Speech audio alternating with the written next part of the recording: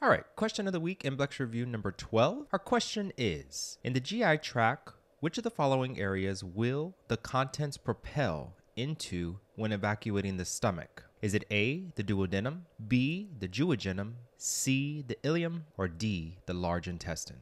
One more time. In the GI tract, which of the following areas will the contents propel into when evacuating the stomach?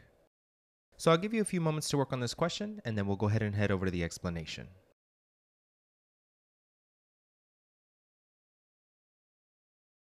All right, so in the community tab, I asked you in the GI tract, which of the following areas will the contents propel into when evacuating the stomach? And I went on ahead and let you know that this is an advanced level question. This one was pretty tough. And we had a great turnout here. We had 17 votes. So awesome. Thank you to the 17 individuals who voted on this question. So 29% said the duodenum, 29% said the jejunum, 6% said the ileum, and then 35% said the large intestine. And thank you to the four people who liked this post. All right, so let's go ahead and cover this material and see what the answer is. So one more time, which of the following areas will the contents propel into? Where are the contents going to propel into when evacuating. So when they're exiting the stomach. So let's go ahead and take a look at the digestive system structures. So here's the stomach, and this question wants to know where are the contents evacuating into? So we see here's the stomach, and it's going down in this direction, and it's going into here. So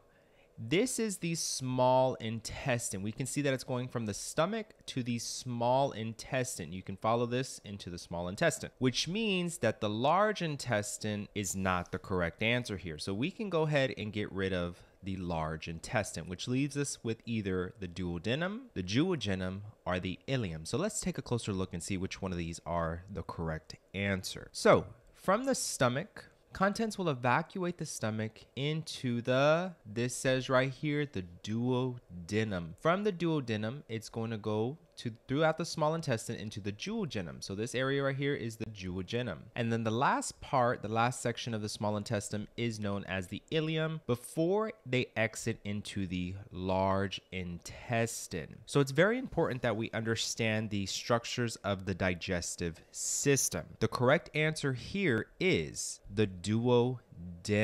So 29% of the 17 voters got this answer correct. Now, if you were one of the individuals who did not get this answer correct, I would encourage you to check out my digestive system MBLEX review course if you did not get this question correct in the community tab. It's very important that you know this information before you go into the MBLEX. On the MBLEX review course, I cover all of the structures, all of the functions, and all of the stages of digestion. It has study notes where you can fill in the blanks, as well as the ability to label the structures of the digestive system, as well as label layers of the GI tract. Very important information that you need to have an understanding of before you go into the MBLEX. Remember that 11 to 12% of the MBLEX is going to cover anatomy and physiology, meaning that there will be 11 to 12 questions out of 100 that may cover materials like this. So I would highly encourage you to check out this MBLEX review course if you were one of the individuals that did not get this answer correct. I will go ahead and leave a link in the description below to get to this course. Y'all have a wonderful week ahead, and I will see y'all in the next video. Y'all take care.